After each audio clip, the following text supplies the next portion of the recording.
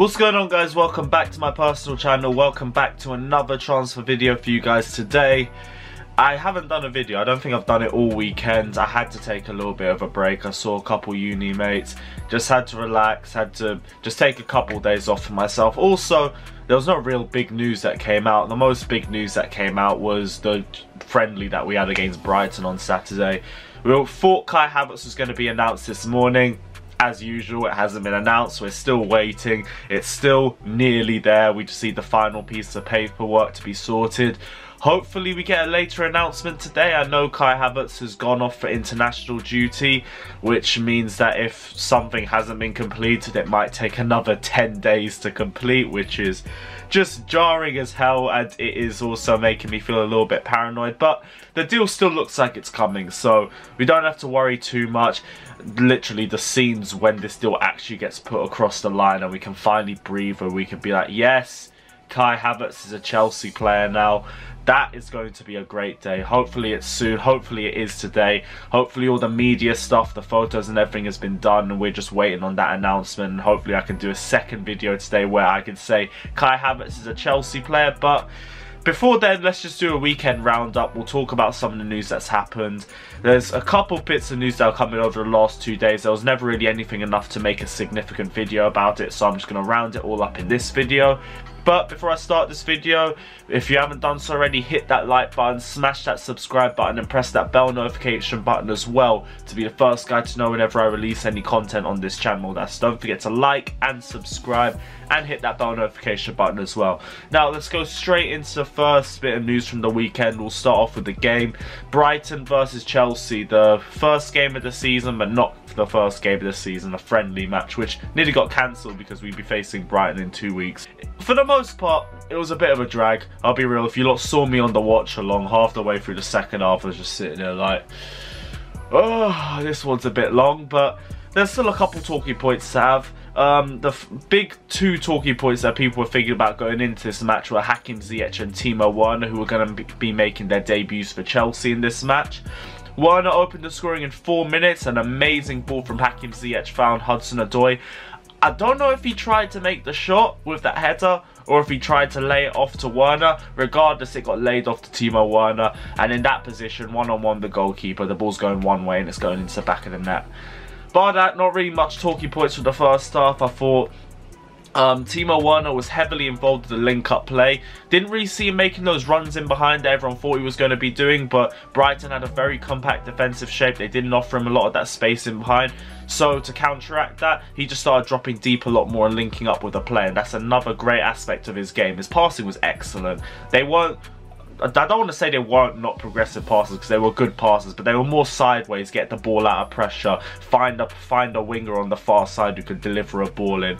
But it was still good. As in, he wasn't losing the ball. He was still heavily involved in the play. He was still having an impact on the team. So it was a promising first performance from him.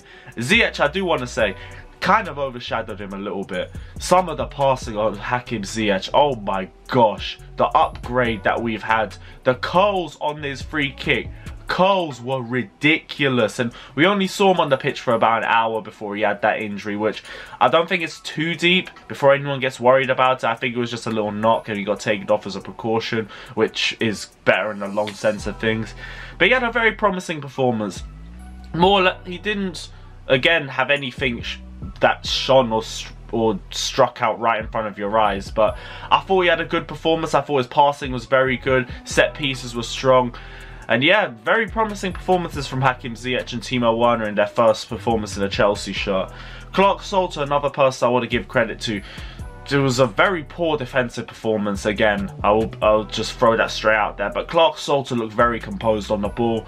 Never really made the wrong decisions, always found it out with the ball. Defensively, I don't think Brighton came into our area enough time to see his tackling ability or anything like that. But he was composed and he had a good performance, so I'm going to give him credit for that. Um, Ruben Loftus-Cheek also still looked like he was getting back to his best. I, that friendly before the Europa League final was going to piss me off for so many years to come. I've got nothing wrong against the purpose of that friendly. Anti, anti, um, raising awareness for anti-Semitism, nothing wrong with that. The timing was wrong. I don't know how no one thought we wouldn't be favourites for the Europa League final and have to play that game in a week. And then we also had one of the worst pitches we played on this decade. It someone was going to get hurt and it had to be injury prone Loftus Cheek and it's such a shame. I really hope it's not the end for him and I really, really hope he can get past this mental block because an Achilles injury is always going to be a mental block to you guys. So I hope he come, I hope he comes back better. This is going to be a very big season for Loftus Cheek. Um, defensively, like I said, still poor. We conceded two penalties in the second half. First one, Rudiger conceded, saved by Willy Caballero. The second one uh, was Ampadu with the tackle, I think. It was a bit rash. Gross scored that time. They weren't going to miss two in a row. Uh, Conor Gallagher looked very promising. I will say that. Very promising. His work rate was immense. And yeah, just ended 1-1 Brighton Chelsea in what was not really the most entertaining of games, but it's the first game of pre-season. Fitness levels were going to be all over the place. It was going to look slow and lethargic at times, and that's exactly how it looked like. Second piece of news. Inter Milan's interest in Emerson looks to have cooled off. I don't I think Inter Milan have been thrown off by Chelsea's 25 million valuation of Emerson, which is a bit annoying because we know they had agreed terms between the player and the club. And honestly, Emerson's now our third choice left back. I don't think 25 million is something that it needs to be a deal breaker or anything like that. I think we could sell him for cheaper. I think we should sell him for cheaper. I think it would be better in the long term to just get him off the payroll. We don't need three left backs. I think Marcos Alonso would be a better option for us. But Inter Milan are now looking at Roma's Aleksandar Kolarov. I think terms have now been agreed between the player and the club there, and it's just a case of Inter and Roma agreeing a fee as well. Which means we're going to lose a player, which means we're going to lose a club that was interested in taking one of our Deadwood players. Bit jarring, straight up, is hella jarring. I hope we can find a player, a club that will take him. Emerson's agent said, "It's possible. Is it possible they will leave Chelsea? Yes, this possibility exists.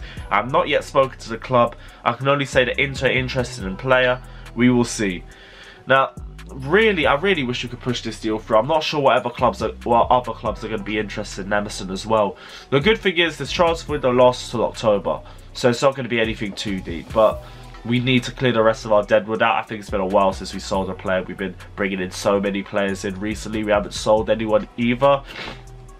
And I know Inter Milan are also interested in N'Golo Kante. I've heard rumours of a potential loan with an option to buy. That one though, no, I don't want to see that deal happen. I people have been saying they want, they think now's the right time to cash on N'Golo Kante. I personally think he's had one injury-prone season and dropped below his high standards, and everyone's just giving him unnecessary shit for him. I, I don't think it's fair. So hopefully N'Golo Kante stays. I hope Chelsea just ignore this bid that Inter Milan have made, and I hope same way we just get rid of Emerson because we really need to.